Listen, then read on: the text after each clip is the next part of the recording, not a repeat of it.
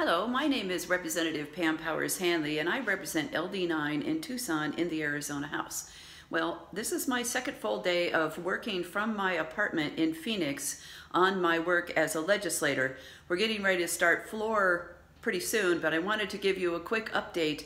I was on a conference call this morning with my Democratic colleagues uh, discussing the amendments that they will be proposing today.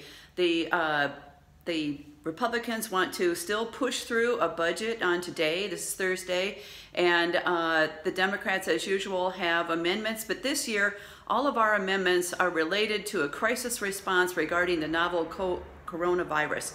We cannot get the governor and the Republicans to realize that this is really a problem.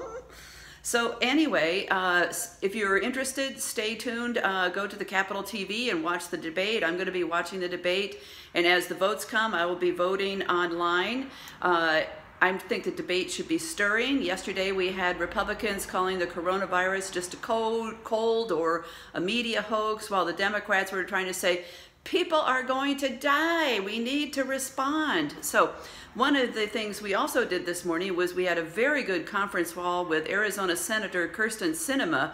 She talked about everything that's being done at the uh, national level. And uh, what's interesting is that the Republicans in Arizona, including Governor Ducey, are not even as in tune with the virus response as President Trump is.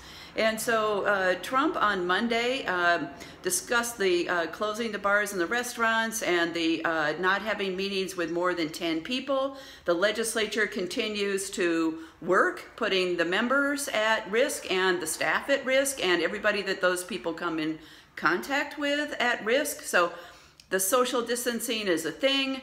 Uh, I was glad to hear all of the items that uh, the federal government is talking about re regarding relief, not just for big business and small business, but real people. And uh, the Democrats in the House and Senate and the legislature also have a lot of ideas. Uh, the point is that we have to get the others to realize that there's even a problem.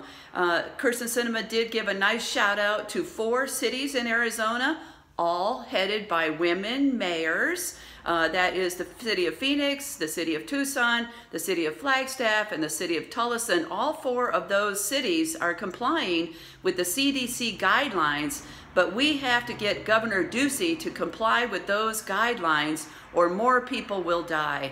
Uh, stay tuned to my Facebook page. I'm going to have more details on my blog at powersforthepeople.net on exactly what's being proposed. I'm also working with other legislators on getting lists of resources that I can send out through my blog and social media for people who need help right now. We're in this together, people. Please stay home if you can. There's relief coming.